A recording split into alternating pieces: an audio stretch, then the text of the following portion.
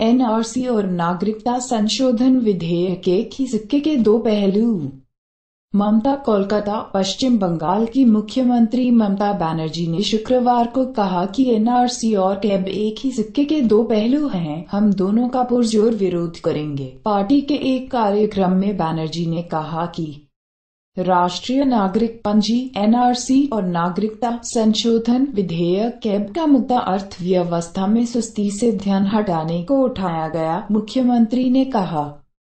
अगर आप सभी समुदायों के लोगों को नागरिकता देंगे तो हम इसे स्वीकार करेंगे। लेकिन अगर आप धर्म के आधार पर भेदभाव करेंगे तो हम विरोध करेंगे और इसके खिलाफ लड़ेंगे। ममता बनर्जी ने नागरिकता संशोधन विधेयक कैब पर प्रतिक्रिया देते हुए कहा कि एनआरसी और कैब दोनों एक ही सिक्के के दो पहलू हैं। बैनर्जी ने कहा कि अगर आप सभी समुदायों के लोगों को नागरिकता देंगे तो हम इसे स्वीकार करेंगे।